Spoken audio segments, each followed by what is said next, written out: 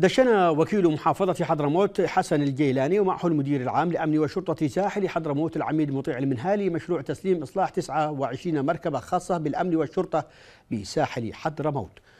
وخلال الاستلام أكد الجيلاني أن المشروع يعكس روح التعاون والشراكة بين القطاعين العام والخاص وأهمية دور المؤسسات الأهلية في دعم التنمية المستدامة وتعزيز الأمن والاستقرار في المجتمعات متقدما بالشكر والتقدير لمؤسسة إسناد للتنمية والأعمال الإنسانية على دعمهم النوعي للمشاريع المنفذة. ومن جانبه أوضح العميد المنهالي بأن المشروع يهدف إلى تعزيز قدرات الأجهزة الأمنية والشرطة في ساحل حضرموت وتحسين الخدمات الأمنية المقدمة للمواطنين الحمد لله بفضل التعاون هذا من مؤسسة إسناد تم إجماع السيارات جميعا وإدخالها للخدمة. آه يعلم الجميع أو إن في كل إدارة من إدارات الأمن خاصه الخدماتية في إدارة في كل إدارة موجودة إدارة التنقلات أو إدارة النقليات أو إدارة المراقبه على السيارات بحيث إنها تتم المراقبة.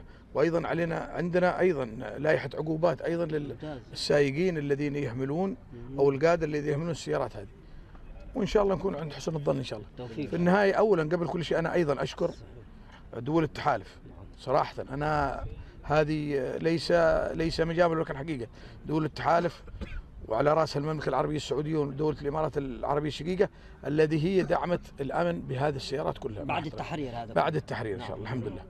ياتي آه هذا التعاون بهدف تعزيز قدرات قدرات الأجهزة الأمنية آه، في آه، وتحسين الخدمات آه، الأمنية المقدمة للمواطنين.